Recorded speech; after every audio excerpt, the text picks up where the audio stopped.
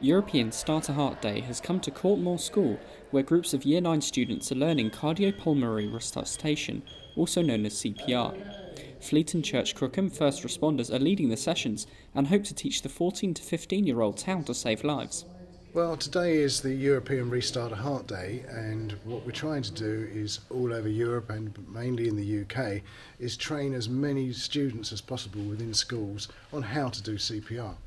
It's happening in other schools today in Fleet and Church Crookham as well, and right across the country. There will be thousands of children who, by this evening, will know how to save a life. They have mannequins in which they can they can practice on. We're teaching them how to do CPR, what a defibrillator is, and also how to put an unconscious patient into the recovery position. The CPR that we're teaching them is a vital skill. It's easy, anyone can do it and you double the chance of somebody's survival who's had a cardiac arrest if you start chest compressions straight away and if you can get a defibrillator to them quickly you can treble the chance time is everything in this and we're teaching the students how to do chest compressions not to panic how to send for help and they can make a real difference and save a life We've had two really good sessions. We've got two more to go.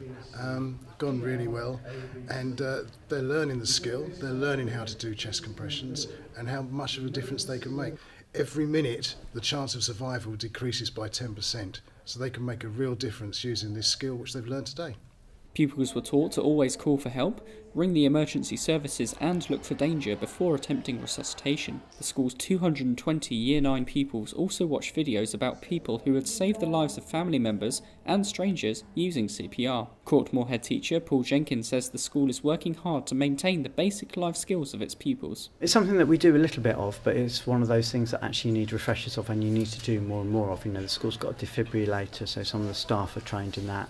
Um, but I think it's a, a basic life skill that everybody should have because you never know what you're going to come across in those first few minutes. If you can keep calm and have some idea about what you're doing, you, you can save a life and you can change a life, and that is such a powerful message for those young people. Well, we were approached by um, Clare Park Hospital and by Fleet First responders who work in the community and do first aid stuff, and it's something that we've been wondering about for a while actually about we're not just producing exam results, we have to produce, well-rounded citizens and children that can cope in the outside world. And actually it's very important for their learning and they see that what they do in lessons isn't all they have to pick up at school. So actually something like this is really crucial to them. The students seem to have taken it really seriously. I think that's really nice that they've um, it's worked alongside, they've been doing work in science this morning about dissecting hearts, understanding that system.